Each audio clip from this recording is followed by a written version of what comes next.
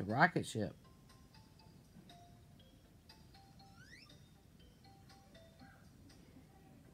There you go. It's like a flying saucer. Or something. So there's that one.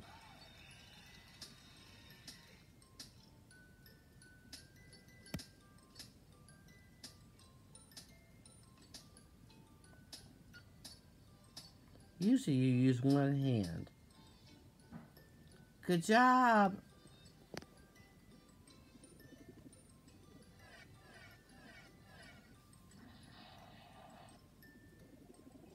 That's that one.